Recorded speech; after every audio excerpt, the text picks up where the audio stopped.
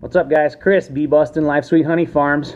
Been a little while since I've done a video, a couple weeks here. We've been really, really busy. It's bee season.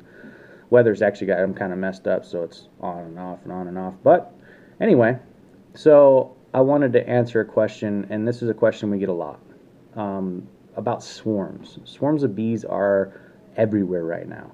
You'll see a big ball of bees. Okay, that's a migration flight. That's going to be an old queen, new workers. They're going to be young.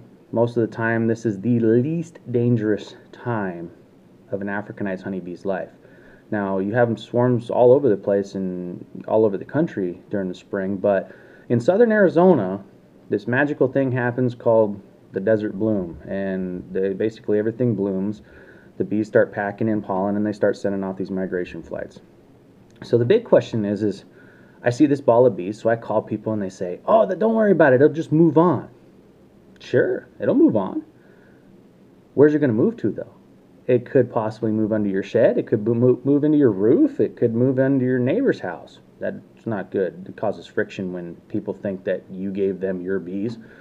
Um, but anyway, so there's thousands, thousands of swarms are going across southern Arizona. Our swarm traps are just getting loaded up. I went out and looked at them yesterday, and there were bunches of them full already around our commercial properties. And which is a good thing. We get to keep those bees. But when those bees move, they move somewhere. When they're sitting there and they send off scout bees, a lot of people will actually see bees around their house and will show up and they say, "Oh, I got bees going in and out." Well, it's actually scout bees. Those scout bees are being, you know, checking out your house because possibly somebody's leaving a swarm that they called and somebody said, "Oh, it'll move on." You might be the recipient of that. You don't want those bees. You don't want that problem. You especially don't want that problem if it moves into a spot where you can't see it, and then next thing you know, your AC guy finds it. That's not a good spot.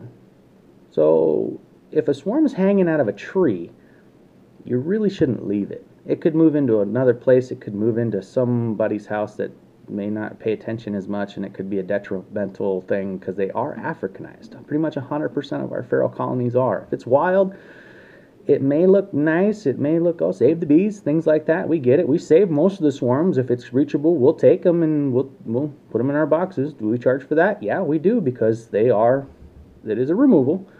But will the swarm move on? Yes, it will.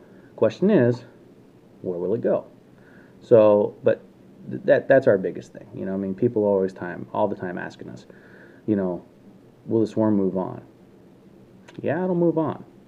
But I don't like having to show up at that customer's house six months later and have to cut a big hole in their house because we had to remove a big hive of bees that had 100 pounds of honeycomb attached to it.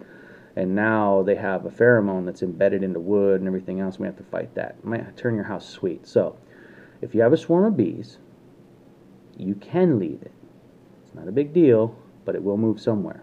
But it might move into your own house. So, it's up to you. You take the chance. But you guys have a good one. Take it easy.